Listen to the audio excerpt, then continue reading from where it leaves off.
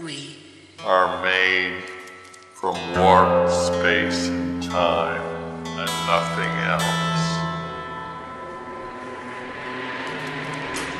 An object that is spherical, like a star or like the earth, with a sharp boundary called the horizon, through which nothing can so it casts a shadow on whatever is behind it. It's just a black, black shadow.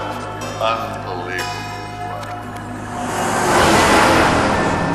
The one searching heaven and earth, the other searching in the corridor.